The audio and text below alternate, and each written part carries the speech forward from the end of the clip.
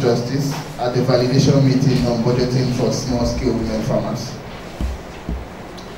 This is a validation meeting on a study on budgeting for small-scale women farmers in Oyo State. It is part of applied budget work being done by CSJ. Now, you don't have a copy? Okay, you get one, please. So sorry about that.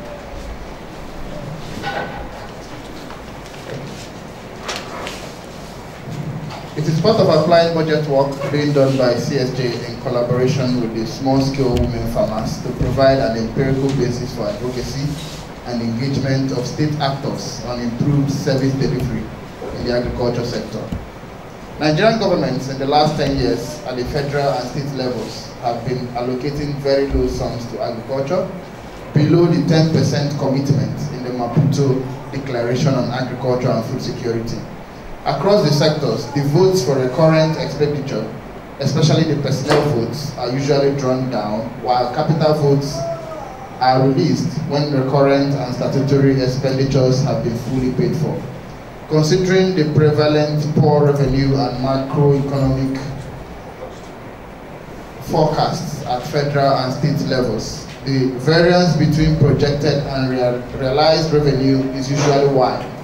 For instance, the federal real, realized revenue in 2018 was 45% short of projection. Thus, the capital votes for agriculture have hardly been fully released. This is further complicated by a system where released, released sums of budgeted funds may not be cash backed, and when cash backed, may take time due to bureaucratic lethargies to be utilized. This is the background to challenges faced by smallholder and small-scale women farmers, whose issues are hardly addressed in the agriculture budget. Nigerian budgets are crafted as, as gender-neutral documents and refuse to take cognizance of the social, historical, cultural, religious, and diverse challenges specifically affecting smallholder women farmers. This leads to gender blindness in budgeting. These challenges include limited access, to control, and ownership of land, very low capital base, and poor access to credit and farming inputs such as fertilizers and chemicals. Poor, poor access to gender-friendly equipment needed to reduce and remove drudgery from farming while improving productivity. The implication of the foregoing is that SCWF face double jeopardy. They get a very small portion, a very small proportion of the already meager agricultural budget, which even if fully released will not solve the challenges facing the sector.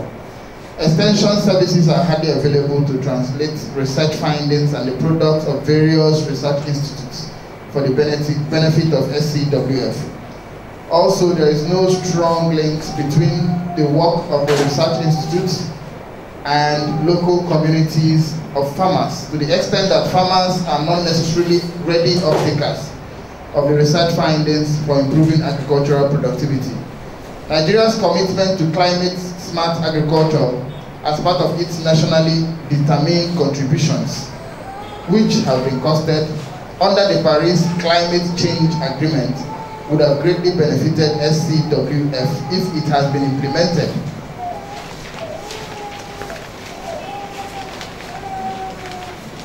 Again, again, extension services would have played a role, a key role in the dissemination of the requisite knowledge and information on climate smart agriculture. The focus on funding for agriculture has been on the votes of the Ministry of Agriculture. But the, but the bigger picture shows that funding for agriculture can also be found in the votes of several research institutes outside of the Agriculture Ministry. Special intervention funds domiciled in the presidency and in the Central Bank of Nigeria. Sustainable Development Goals, formerly Millennium Development Goals. Ministry of Women Affairs, constituency projects of legislators, Ministry of Water Resources, including the votes of the River Basin Development Authorities, faculties of agriculture in universities through the Ministry of Education, Ministry of Power, Works, and Housing and Labour, etc.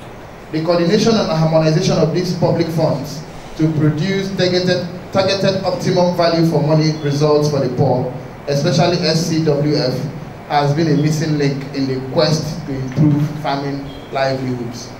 Considering the goal of the small-scale women farmers organization SWOFON to end the cycle of poverty among smallholder women farmers and to stop all forms of discrimination against them, the foregoing challenges can be located around Nigeria's obligation to respect, protect, and fulfill the right of SCWF to an adequate standard of living, encompassing the right to work, food, etc., and to take steps within the maximum of available resources for the progressive improvement of their productivity, which will lead to improvement in living conditions. A detailed list of problems and challenges at the federal level and in the focal states are available in the SWOFON Charter of Demands.